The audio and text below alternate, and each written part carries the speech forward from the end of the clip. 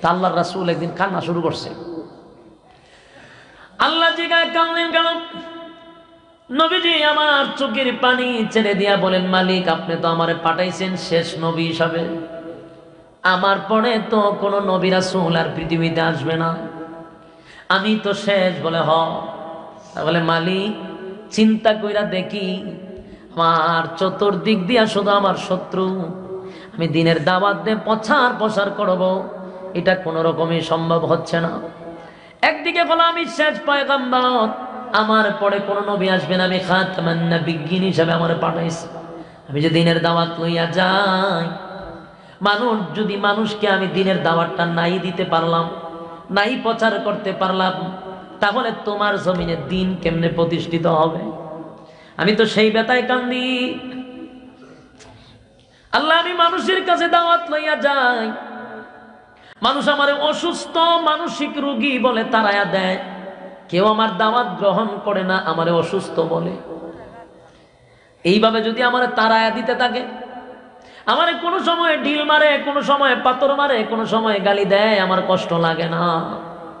কষ্ট লাগে, এইভাবে যদি দিনের দাওয়াত দেওয়া বন্ধ হয়ে যায়, তোমার দিনে, তোমার জমিনে দিন কেমনে কায়াম করব? আমার পরে তো কোনো নবীরা চলে আসবে না। আমি সেই বেতায় ব্যতীত হইয়া কালনি আল্লাহ বলে, নবী গো, আপনি কানলে আপনারে কেউ সান্ত্বনা দিবে না গো নবী। কারণ এই জমিনে আপনার মা নাই, বাবা নাই। বাবা থাকলে সন্তানরে সান্ত্বনা দেয়, মা থাকলে সান্ত্বনা দেয়, বড় ভাই থাকলে সান্ত্বনা দেয়, বোন থাকলে সান্ত্বনা দেয়। আপনার তো কেউ নাই, সান্ত্বনা দেওয়ার মতো মানুষ নেই। সবাই আপনার বিরুদ্ধে। আমি আল্লাহ আপনাকে সান্ত্বনা দিলাম। হাবিব, আপনি কান্দিল না। আপনার কান্না আমি আল্লাহ বরদাস্ত করতে পারি না।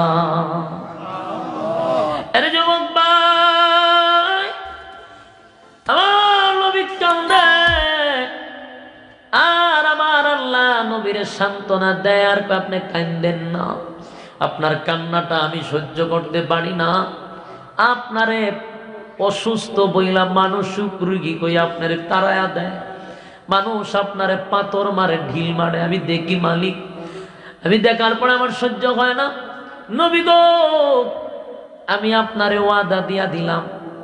যারা আপনার বিরুদ্ধে সেই ষড়যন্ত্র করতেছে, আমি আল্লাহ তাদের ষড়যন্ত্র শেষ করে দিব। প্রত্যেকটা মানুষের দিলের পরিবর্তন আমি আল্লাহ করে দিব। আল্লাহ বলেন, আপনি দাওয়াত দিতে থাকেন, আর আমি মানুষের মন গুড়াইয়া দিব।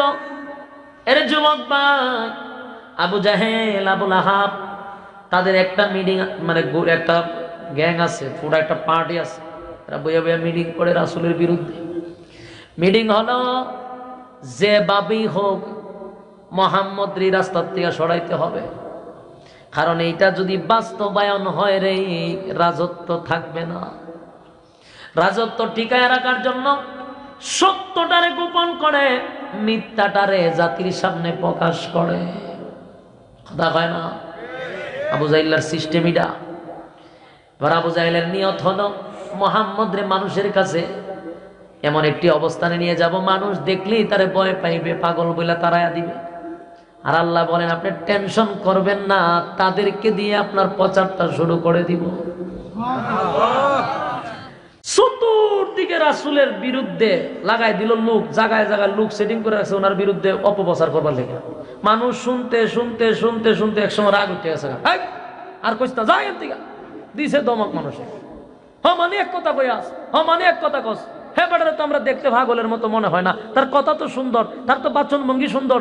দেখতে ভালো এরকম লোক আর হয় না সুবাহান মানুষ শুনতে শুনতে এরা দমক দেয়। এরার কথা আর কেউ শুনে না, দামও দামও দেয় না।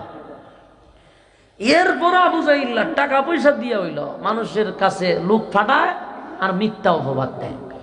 এই মিথ্যা অপবাদ দিতে দিতে একসময় মানুষের রাগ উঠে গেছে এমপি মন্ত্রী, চেয়ারম্যান, মেম্বার, সব লাগছে একটা লোকের বিরুদ্ধে। লোকটা নাকি অসুস্থ, পাগল। তো কি তুইল পাগল হইলে? তো পাগলের কথা কি এমপি কখন লাগেনি পাগলের কথা কি এমপির বউ কখন লাগে? পাগলের কথা কি চেয়ারম্যানে কয়? কথা কয় না। এ পাগলের প্রচার প্রসার কি এমপি মন্ত্রীরা করবে? সাধারণ মানুষ করতে পারে। তখন আপনারা এলাকার এমপি সব যদি আপনার বাড়িতে কয় যে ওনার বাতিজ একটা পাগল হয়েছে আপনার কাছে এটা সন্দেহ লাগতো না। যে ভাগলের কথা কইতেছে আপনার গ্রাম নিশ্চয়ই এটা ছোট ভাগল না, আন্তর্জাতিক খ্যাতি সম্পন্ন পাগল মনে আমেরিকার থেকে আনছে, এইরকম ভাগল দেখা আপনার দরকার। মানুষ পাগল দেখ বললে এতে গাড়ি লইয়া দৌড় দিব এমপি সাহেবের বাড়ি। ঠিক নি? কেন আকর্ষণ বেড়ে গেছে গা? এমপি সব পার্লামেন্টের থেকে লাইন নাই, আ পাগলের প্রচার করে। এই পাগল দেখতেই হো ঠিক নি? তা আবু জাইল্লা অত বড় একজন সর্দার। আবু জাইল্লার এরপর আবুল আহেবার বউ সহ এরা মাডল আমছে। মানুষকে এত দামি দামি মানুষের দাওয়াত দিয়ে আনতে পারি না। এরা পাগলের অ্যাডভার্টাইজ দিয়ে দিয়ে গুড়া। এই পাগল না দেখিয়া ঘুমাইতো না। এরা রাত্রে পাগল কয়, দিনের বেলা মানুষ যায় দেখবার লেগে। সুবাহ আল্লাহ কইতেন না? সব মানুষ গাড়ি রিজার্ভ করে করে শুরু হয়েছে পাগল দেখতে। তো কই যান? কদিকায় ওই এমপি সাহেব পাগল পাগল করে কইতেছে, আমি অনেকদিন ধরে আমরা দেখতাম আছি পাগলটা দেখা দেখতে এসে কি শুরু করছে? কালেমা পড়ে আর ইমান আনে। জুড়ে কন সুবাহা মানুষ আল্লাহ নবীর চেহারা মুবারকের দিকে তাকাইয়া বলতে শুরু করে দিল, এত সুন্দর চেহারা তাওরাত কিতাবের মধ্যে আমরা পেয়েছি। আখিরি জামানার পয়গম্বর যিনি হবেন, তার চোখ মোবারক কেমন হবে, দাঁত মোবারক কেমন হবে, চুল মোবারক কেমন হবে? সবই তো আমরা পেয়েছি, বাস্তবতাও পাইলাম। এই লোকটা পাগল নয় রে জামানার সবচেয়ে বড় পয়গম্বর। উনি হলেন নবী মোহাম্মদুর রাসূলুল্লাহ সাল্লাল্লাহু আলাইহি ওয়াসাল্লাম। কালেমা পড়ে আর ঈমান আনে।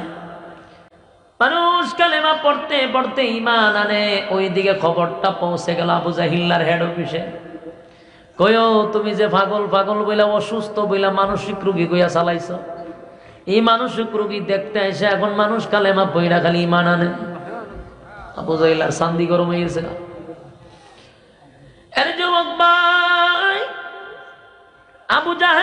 আহাব রাসুলকে অসুস্থ বইলা সাধারণ মানুষের কাছ থেকে দূরে সরাইতে চাইছিল।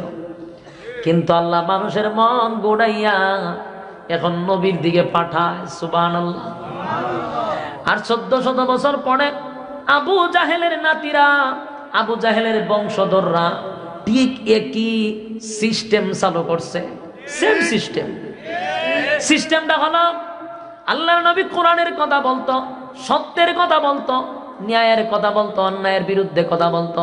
তাই আবু জাহেল, আবু লাহাব আল্লাহর নবীকে মানসিক রোগী হিসাবে চালায়া দিছে। মানুষকে আতঙ্ক সৃষ্টি করে দিয়েছে যেন মানুষ নবীর কাছে না আসে। আর বর্তমানে আবু জাহেলের ছেলাপেলাগুলি তাকায়া দেখছে, আল্লাহর নবীর পরে কোনো নবী আসবে না। কেয়ামত পর্যন্ত দিনের দায়িত্ব, দিন প্রচারের দায়িত্ব। ওলামায়ে কেরামদের হাতে, ওলামায়ে কেরামরাও কোরআনের কথা বলবে, অন্যায়ের বিরুদ্ধে কথা বলবে, ন্যায়ের পক্ষে কথা বলবে। সেই ওলামায় কেরামদের কাছ থেকে সাধারণ পাবলিকদেরকে দূরে সরানোর জন্য একটা কৌশল বাই করছে। রাসুলরে যেমন তারা মিথ্যাবাদী বলতো না, এখনকার আবু জাহেলরাও আমাদেরকে মিথ্যাবাদী বলে না। কোনো সময় মোল্লারা মিথ্যাবাদী? জীবনে শুনছেন না। আল্লাহর নবীরও মিথ্যাবাদী বলে নাই বর্তমানে আমাদেরকে বলে না।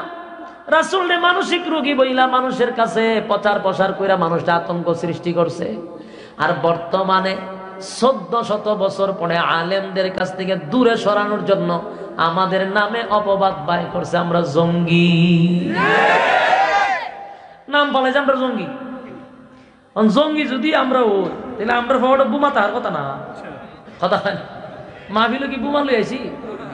চৌষট্টি জেলায় আমরা গুড়ি বোমা লইয়া যাই। তে মানুষ তো জঙ্গি হইলে দূরে তাহার কথা। মানুষের ভিতরে যে আতঙ্ক সৃষ্টি করছে আজকে দশ পনেরো বছর ধরে খালি এক স্লোগানি উন্তাজি জঙ্গিবাদী জঙ্গিবাদী জঙ্গিবাদী কিতা হয়েছে ওই সেম হয়ে গেছে রাসুলের যুগের মতো। রাসুলের পাগল পাগল হইতে তো মানুষের দৌড়ে হয় গেছুন নিয়ে দে পাগল পাগল কস। তোরা সত্য গোষ্ঠী পাগল মানে আমরা জঙ্গি জঙ্গি হইতে তখন মানুষে হারারে গাইলা আল্লাহ বাট ফাট। তোরা জঙ্গি জঙ্গি। তোরা কত নম্বরের ঠেন্ডার বাজি আর সাদা বাজি আমরা তোরা চিনি না। আমরা দাম দিছে জঙ্গি আচ্ছা। জঙ্গি কেন দিছে? সাধারণ পাবলিক আলেমুল আমাদের কাছ থেকে দূরে সরার জন্য। রাসুলকে সাধারণ মানুষের কাছ থেকে দূরে সরানোর জন্য এই অপবাদ দিছে। দেখা গেছে, অপবাদ দেওয়ার পরে এখন রাসুলের কাছে আসে আর কালেমা পড়ে আসে আর কালেমা পড়ে। চোদ্দ শত বছর পরে আমাদেরকে জঙ্গি বলার পরে চাইছিল দূরে সরানোর জন্য। বাংলাদেশের টেকনাফ থেকে তেতুলিয়া যেখানে যাই রাত দশটা হোক, বারোটা হোক, জনসমুদ্র হয়, জনসমুদ্র। পাগল বইলা, জঙ্গি বইলা দূরে সরাইছ না কাছে আইছে? ভিতরে ছিলেন, আমি আমরা কমাই। এত আসা যাওয়া একটু কম, এত মানুষ একটা বিভ্রান্তির মধ্যে ছিল, আসব কি আসব না, লোক সমাগম কম হইতে পারে। কিন্তু বিভিন্ন জাত আমি যাই আমাদের থেকে বড় বড় উলামাই কেরাম যা, দেখছেন নি অবস্থাটা? হ্যাঁ জনসমুদ্র হয়ে যা তেনা জঙ্গি হলে না মানুষ দূরে থাকার কথা আছে। মানুষ জঙ্গি দেখবার লেগে পাগল হয়ে জায়গা কথা খায় না? আহা, বুঝেন না এখনও হ্যাঁ বালিশের সঙ্গে মাথা লাগায় চিন্তা করেন। এত অপবাদ দেন, এরপরে মানুষ ওলামাই কেরামদের জন্য জীবন দিতে প্রস্তুত। আমি প্রায় সময় একটা বক্তব্য দিই, এবং বাস্তব কথাটা। আমি ঢাকার থেকে সিডাগাং যাই, যতগুলা হাইওয়ে রুট আছে, ঢাকার থেকে সিলেট আসি, যতগুলা হাইওয়ে রুট হোটেল আছে ই একটা তো আমার বিল রাখে না। জঙ্গি এই কারণে ভয়ে, কথা হয় না। ডরে রাখে না। এ, যতগুলা হোটেলে খানা খায়, খানা খাওয়ার পরে জোর করে বিল দিতারি না। জঙ্গি দিকে না না। বরং টেকা দিলে, উল্টায় দিয়া হুজুর দোয়া কইরেন হুজুর। আলহামদুলিল্লাহ কইতেন না। আমি একদিন টেকা দিবস আমি চিন্তা, আজকে আমার মাথা দিতেছি আমি হারে, আমরা না জঙ্গি কয়। মানুষ তো ভয় পাওয়ার কথা। টেকাও নেয় না, আবার হুজুর দোয়া করেন আবার হুজুর একটা সেলফি তুলে লাই ডাকাত থেকে একেবারে সিটা আন গেল কোনো হোটেলে বিল রাখে না, একটা ডাকাতে সিলেট এলো বিল রাখে না। মুসাফা টসাফা কইরা করে স্টাফ উঠতে আয় আমার কাছে। আমার মধ্যে এক বক্তার যদি অবস্থা হয়, তাহলে আল্লাহ মামুল হক সাহেবের কি অবস্থা? কথা হয় না। এরার জনপ্রিয়তা। আরেকজন আছিল আজহারি সাহ। উনি আইলে কি অবস্থা? বাবা নগরী সাহেবের কি অবস্থা? এরকম যারা আছে হেরা হোটেলে গেলে কেটে হারাকবো জঙ্গির বয়ে। মামুল সাহেবের নামে যেইভাবে অপবাদ দিছে, এখন মামুল সাহেবের অবস্থা দেখছেন নি তোমরা যত সমালোচনা করবা, তত আল্লাহ উঠাইয়া দিবে। রাসুল রে ফাগল বইলা থামায় রাখতে পারছে? মানুষ কালেমা পড়া শুরু করছে। আজ থেকে বিশ বছর আগে যেই মানুষ হইতো না, জঙ্গির অপবাদ দিতে দিতে এখন যে কোনো জায়গায় আলেমরা যাক, জনসমুদ্র হয়, হাজার হাজার মানুষের সমাগম হয়ে যায়। কিন্তু যারা আমাদেরকে অপবাদ দেয় এরা এই মানুষগুলো একখানা করতে গেলে এরা কয়েক লক্ষ টাকা খরচ হইবে কয়েক লক্ষ টাকা খরচ করে আইন না ও চেয়ার দিয়া বাইরা বাইরি যায় কেমন খতম করে মাইল লেগে জায়গা তো পুলিশে খাই সোজাইয়া খারাপ। পুলিশ শুদ্ধ আরম্ভ করে দেয়। আর এখানে যতগুলো যেমনই মানুষ হয়েছে, কোনো ঝগড়া আছে? জাগা লইয়া ঠেলা ঠেলি আছে? কেউ সিগারেট খাইতেছে? এখানে মানুষগুলো নিয়ন্ত্রণ করার জন্য পুলিশ প্রশাসন আছে? আল্লাহ একবার একবার চিন্তা করেন। এই মানুষগুলি ওয়াজের মঞ্চ না হইয়া আল্লাহর জাতের কসম, অন্য যে কোনো মঞ্চে যাক সিল্লা সিল্লি কাউ মাও, মারা মাডি, বিড়ি, সিগারেটের ধোয়া কেমন হয়ে যাব গা কিন্তু এই মসজিদে আসলে যুবকরা জানে এটার আদব। এখানে বসলে বিড়ি খাওয়া যাবে না, এখানে বসলে কোনো কথা বলা যাবে না, মোবাইলটা পর্যন্ত খোলা রাখেন, আল্লাহ আকবার। আমার দেশের যুবকরা এই মজলিসের আদব জানে। এবং যিনি কথা বলে তার প্রতি পুরো সম্মান রেখেই বসে। কিন্তু তোমাদের নেতারা কথা বললেও এই সম্মানটা পায় না। নেতায় কথা কয় হেমাদা সিগারেটের ধোয়া আসতেছে চতুর্দিক থেকে নেতা ওই ফাতি নেতা হেমাদা টানে কিন্তু আমরা এখানে বসলে সিগারেট যারা খায়, এরাও ভয়েও সিগারেট মুখ দিত না। ঠিক নেই? কারণ ব্যক্তির আকর্ষণ নয় কোরআনের আকর্ষণ। কিসের আকর্ষণ? কোরআনের আকর্ষণ এটা ব্যক্তি না। কোন ব্যক্তির আকর্ষণে পাবলিক আসে না। বিষয়গুলা ভাবা দরকার।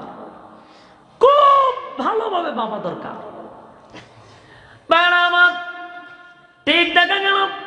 আল্লাহর হাবিবকে আল্লাহ বলে নবী গো চিন্তার কোনো কারণ নাই। তারা আপনার বিরোধিতা করবে, আমি আল্লাহ আপনারে উঠাইয়া দিব এইভাবে যখন কালেমার দাওয়াত চলতেছে, শেষ পর্যায়ে তারা সিদ্ধান্ত নিল, আল্লাহর নবীরে চিরতরের জন্য দুনিয়ার থেকে বিদায় করে দিবে। ওহি হওয়ার পর থেকে চল তেরোটা বছর শুধু নির্যাতন যেদিন আবু তালেব দুনিয়ার থেকে বিদায় হয়ে গেছে, আবু তালেব বিদায় হওয়ার পর থেকে নিয়া এরপরে শুরু হয়ে গেল রাসুলের উপরে নির্যাতন। যুবক ভাইয়েরা, খুব ভালো করে শুনবেন, বেশি সময় নেই। প্রথম অধ্যায় কিন্তু শেষ, সংক্ষেপে শেষ করে লেছে। এখন আসি কত অধ্যায়ে? দ্বিতীয় অধ্যায়। দ্বিতীয় অধ্যায়ের তেরোটা বছর সবচেয়ে কঠিন অবস্থা ছিল। নির্যাতনের অবস্থা। নির্যাতনের স্টিম রুলার চাপায়া দিছে। আবু তালেব দুনিয়ার থেকে বিদায় হওয়ার পরে রাসুলের উপরে নির্যাতন শুরু হয়ে গেল। সাহাবিদেরকে যেখানে পায় সেখানে মারে, যেখানে পায় সেখানে মারে। মারার সিস্টেম হলো, কোন কোন সাহাবিদেরকে গরম কয়লার মধ্যে শোয়া দেয়, কারও বুকের মধ্যে পাথর রেখে দেয়, কারও জিব্বার মধ্যে প্যারাক মারে, কাউ আবার কেউ রে গরম তৈলের মধ্যে বাজি করে দেয়। হায়রে নির্যাতন! সাহাবাই কেরাম সহ্য না করতে পেরে একটা পর্যায়ে আল্লাহর নবীর কাছে এসে বলে, নবী গো, আর পারতেছি না গো নবী।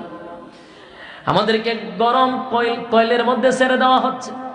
আমাদেরকে জ্বলন্ত কয়লার মধ্যে শোয়া দেয় গো নবী। আল্লাহর কাছে বলেন না, একটু সাহায্য করার জন্য।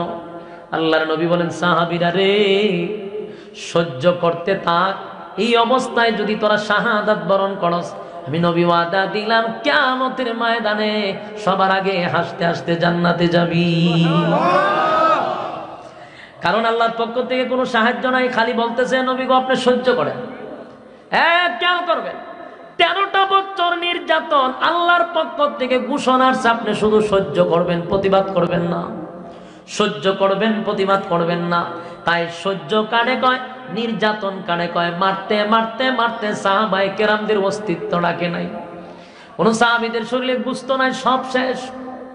একটা পর্যায়ে তারা সিদ্ধান্ত নিল, আল্লাহর নবীকে দুনিয়ার থেকে বিদায় করে দিবে। ঠিক এই মুহূর্তে আমার আল্লাহর পক্ষ থেকে ঘোষণা আসলো, নবী গো, আর মক্কায় থাকবেন না।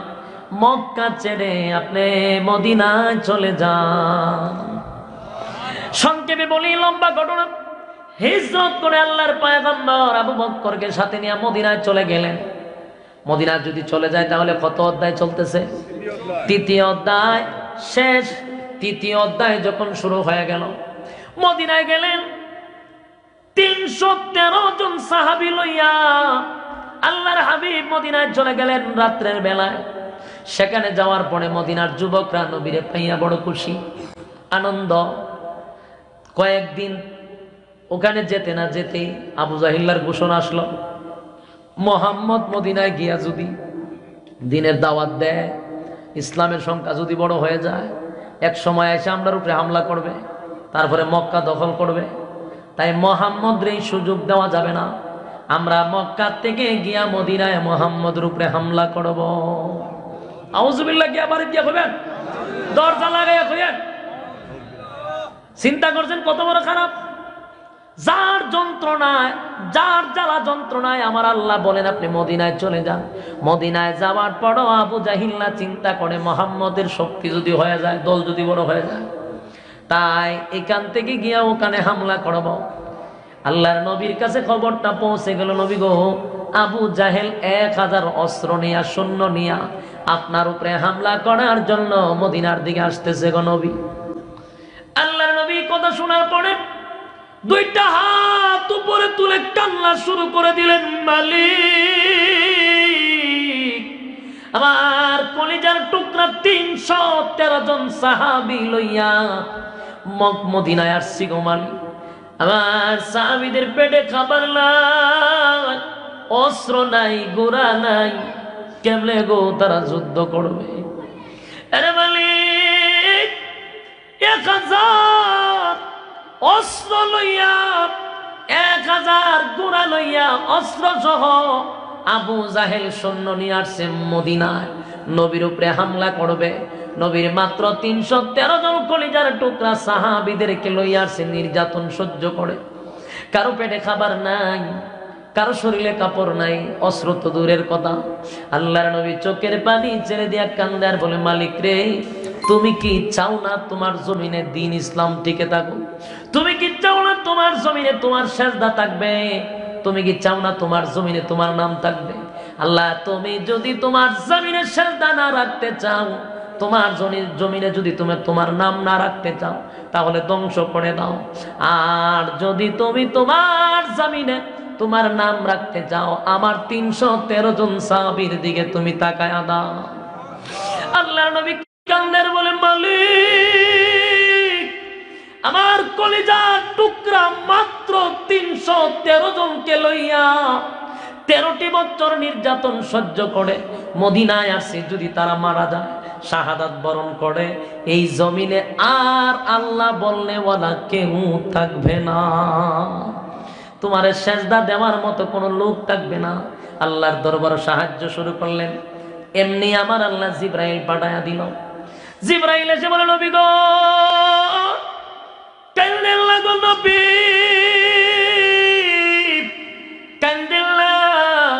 আল্লাহর পক্ষ থেকে ঘোষণা আসছে, আল্লাহর পক্ষ থেকে ঘোষণা আসছে। চল্লিশটা বছর নীরব থাকছেন কার অর্ডারে আল্লাহর অর্ডারে জোরে বলেন, চল্লিশ বছর নীরব থাকছে কার অর্ডারে আরে, চল্লিশ বছর নীরব থাকছেন আল্লাহর অর্ডারে তেরোটা বছর নির্যাতন সহ্য করছে কার অর্ডারে হ্যাঁ আরও জোরে কন। তেরোটা বছর নির্যাতন সহ্য করছেন আমার আল্লাহর অর্ডারে আল্লাহর হুকুমে নির্যাতন সহ্য করেছে। এবার আল্লাহ ঘোষণা দেয়, নবী গো, সব সময় নরম থাকলে বড় সমস্যা। নরম হইলেই দেখবেন আপনার দুর্বল পায়া খালি আঘাত করবে। কথা কয় না? যদি বেশি নরম হন বারবার, তাহলে আঘাত করবে বেশি। তাই বেশি নরমও ভালো না। আল্লাহ এবার বলেন, আর নরম হয়ে থাকবেন না। গায়ে পাড়া দিয়া যদি বারবার ঝগড়া করতে চায় সাইরা দিবেন না। কারণ বারবার গায়ে পাড়া দিয়ে ঝগড়া করতে চায়। তেরোটা বছর আপনার সাহাবিদেরকে জ্বলন্ত আংরায় পুরে মারছে, তৈলের মধ্যে ফালায়া মারছে। শুলিতে ঝুলায়া মারছে। নির্যাতনের স্টিম রুলার চাপাইছে। আমি আল্লাহ বাধা দিছি না।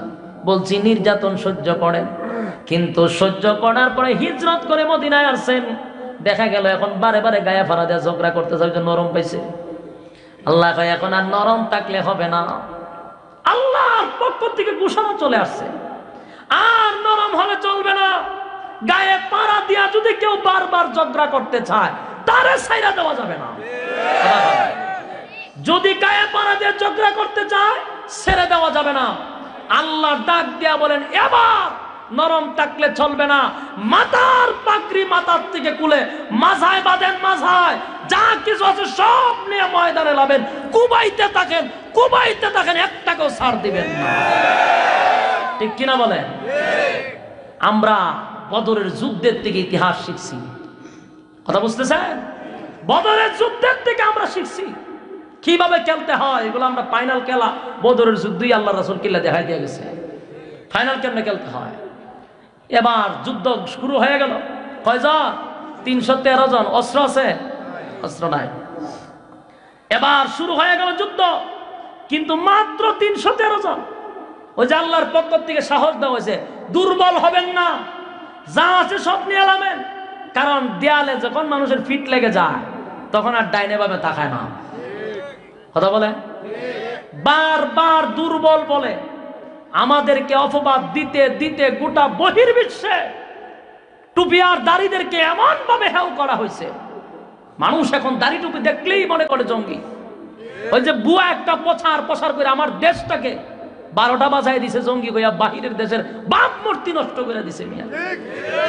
আলেমুল আমাদের ব্যাপারে মারতে মারতে যখন দেওয়ালে পিঠ থেকে যাবে, চৌষট্টি জেলা আষট্টি হাজার গ্রাম বাংলার থেকে যদি উলামায়ে কেরামদের ডাক চলে আসে, উলামায়ে কেরামদের যা কিছু আছে, সব নিয়ে যদি মাঠে ময়দানে নামে, খুদার কাসাম, এদেশ থেকে রাস্তিকার মুর্তাদা রামবামদের দালালগুলি রাস্তা পাবে না পালানোর, রাস্তা পাবে না পালানোর, ঠিক কিনা বলেন?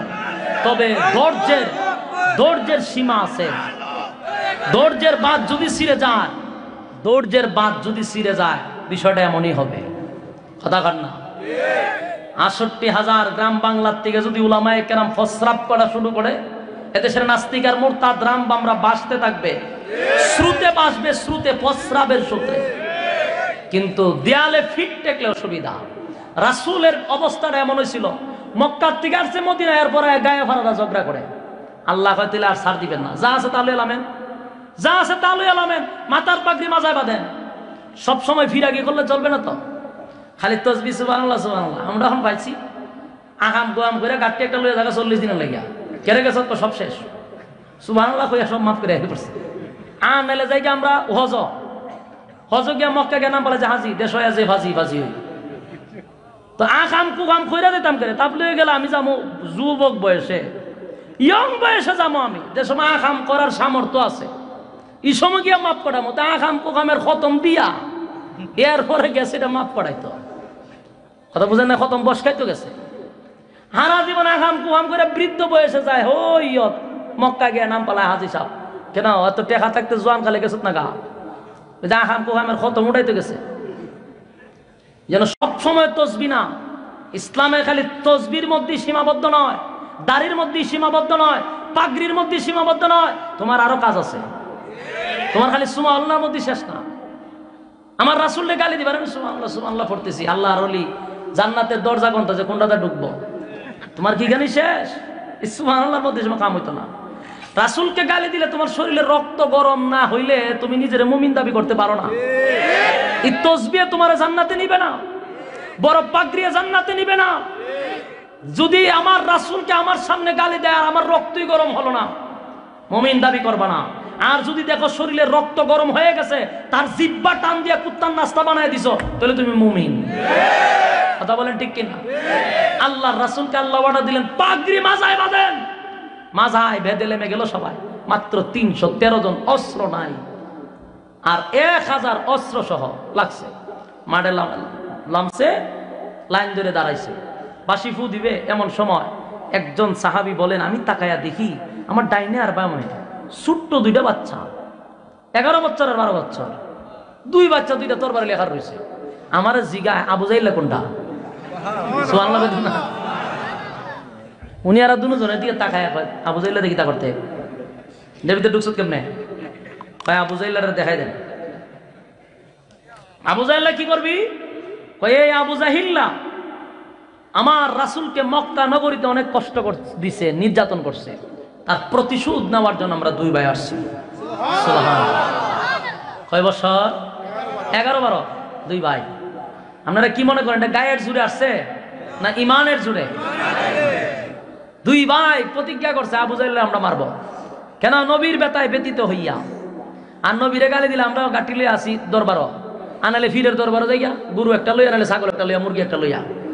আমরা মনে করি ফিরে হাত রাখলে জান্নাত এটা আমরা আয়- আয়ত্তের ভিতরে আয়া পড়ব।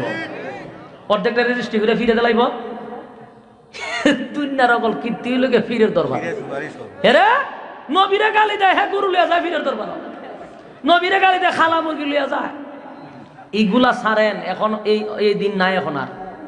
এই ভণ্ডামি সাইরা দিয়া এক প্ল্যাটফর্মে আসেন। আমাদের দেয়ালে কিন্তু ফিট লাগিয়ে গেছে গা। কথা বুঝতেছেন না? দেয়ালে ফিট লাগছে। এখন ওয়াহাবি, সুন্নি সরমুনায় জামা, তারপরে সরসিনা, তারপরে ফুলতুলি, হেফাজত কৌমি এগুলার দিন আর নাই। আমরা ঐক্য চাই। আমরা কি চাই? আর কম আমরা ঐক্য চাই। ঐক্য ছাড়া বিকল্প কোনো রাস্তা নাই। যদি আমরা ঐক্য হতে পারি, ইসলামের বিজয় আসবে। কথা বলেন? আরও জোরে। বিজয় আসবে কিনা? ইসলামের বিজয় আমাদের কাছে আসবে। তবে আমরা এক হইতেইব এই গুতাগুতি বাদ। হেতে ইডা হেতে উষা টুপি এতে নেশা টুপি। ই দরবার খেতে। এ নেশা টুপি উষা টুপি নিয়ে আমাদের কোনো দ্বন্দ্ব নাই। দ্বন্দ্ব হইল ইসলামের ব্যানারে আমরা সবাই এক। না, আল্লাহ তো আমরা একই। রাসুল এক। ওই যে ফির হইতে পারে ভিন্ন ভিন্ন। ফিরের মায়ের বেশি বাংলাদেশ কিন্তু ফির মূল ব্যবসা না। উদ্দেশ্য হলো আমাদের মালিক এক, রাসুল এক, কোরআন এক, ঠিক কিনা আমরা তো এক হওয়ার কথা। আল্লাহ রাসুল ওই যে দুই সাহাবি, ছোট্ট দুই সাহাবি। হয় আমরা সার্চ করো। উনি বলতেছেন যে এক হাজার সৈন্যের সেনাপতি তার সামনে দা যাওয়া আমার বুক কাঁপতেছে। আর এই দুই বাচ্চা হয় এর হলো মারবো। আবু জাইলা কেমন পালোয়ান ছিল। এই দুই বাচ্চারে দেখা যাচ্ছে ওই যে লম্বা, মুড়া, সুন্দর, বড় সড়ো বডি, এটাই আবু জাহেল। আমি বলতে দেরি করছি, দুইটা ভাই বাস পাখির মতো উড়াল দিতে দেরি করছে না। তরবারি ডাইরেক্ট আবু জাইল্লার সামনে। আবু জাইল্লার সামনে গিয়ে তরবারি গুড়ায়। আবু জাইল্লা হাসে। হাসে কেন জানেন? কেরে? কেরাইছস এন কেরাইছস এই যুদ্ধের মাঝ কেন কয় আইসি তোরে সাইজ করবার লেগে। তা আবু জাইল্লা ভাবছে, কয়, আমরা কি এমনি কই মোহাম্মদ রে পাগল? হুদাউদি কই? ছোট ছোট বাচ্চা বাড়াইছে যুদ্ধ করতো। পাগল ছাগল না হইলে না উসুবিল্লা এর মনে যে ছোট ছোট বাচ্চা বাড়াইছে, বড় একটা বাড়াইতো, এই ছোট দুইটা বাচ্চা বাড়াইছে আর কিতা মারতাম আর দুই ভাই খালি দেখা করলাম লামস টাকা কিন্তু হে তো আর হেরার দম গুনে না। বাবু, তোমরা তোমাদের বাড়িতে যাও। এখানে তোর বাড়ির আঘাত টাঘাত পড়ব তোরে সাইজ করুম, লাম। হেতে পাল্টা কথা হয় এরা করলাম আবু জাইল্লা তুপুরে বসে রয়েছে যখন দেখলাম লামে না, এক বাই তোর বাড়িতে গুড়ার পায়ের মধ্যে আঘাত করছে। গুড়ার পায়ে আঘাত করার সাথে সাথে গুড়া পড়ে গেছে। আবু জাহিল্লা ও গান থেকে তিন লটকি দিয়া পড়ছে। ফরার সাথে সাথেই তরবারি দিয়া মারামারি শুরু করছে। আবু জাহিল্লা মনে মনে হচ্ছে ছোট বাচ্চা তাহলে কিতা যুদ্ধ করব? এ, ফিরায়। ফিরাইতেছে, নিচে বইয়া বইয়া। কিন্তু দেখেন না, বাপ ভালো না। আবু জাহিল্লা দেখতেছে এরা দুই ভাইয়ের বাপ ভালো না। তরবারি গুড়ায় কিন্তু এমন ভাবে উফরুজু ফরে, বুঝা যায় কয়েকশো তরবারি ফরতেছে। লক্ষণ বালানা দিকে আবু জাহেল উঠটা এমন জোরে আঘাত করছে।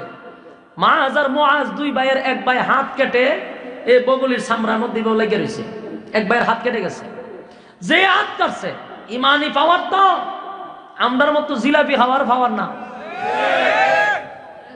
আওয়াজ উঠলে একটা দৌড়। এইরকম ইমান তো ছিল না, হাত কাটছে পরে, ইমানি জজবার বাইরে গেছে গা। এমনি আল্লাহ আকবার বলে তোর বাড়ি ঘুরায় ডান হাত দিয়ে আবু জাহেলের গরদানের মধ্যে মারছে।